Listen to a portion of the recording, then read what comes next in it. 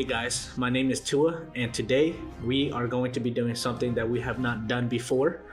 We will be blasting a 3D printed part that's made out of PLA, and we are going to put it in the ultrasonic cleaner afterwards. Our goal is to see if we are able to remove the abrasive off the printed part using the ultrasonic cleaner.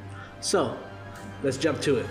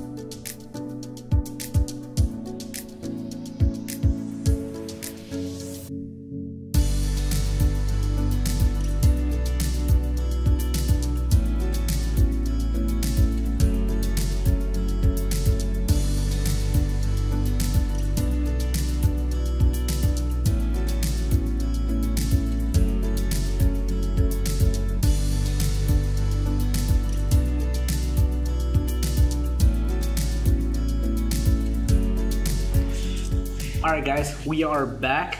After putting this 3D printed part into the ultrasonic cleaner, we have realized that it was not taking the abrasive off from this material. So I have concluded that the ultrasonic cleaner will not remove any of the abrasive off PLA printed materials. I hope you guys learned something new today as we have learned something as well. If you guys have any questions or suggestions about the ultrasonic cleaner, uh, let us know in the comments below. And thank you guys for watching and have a nice day.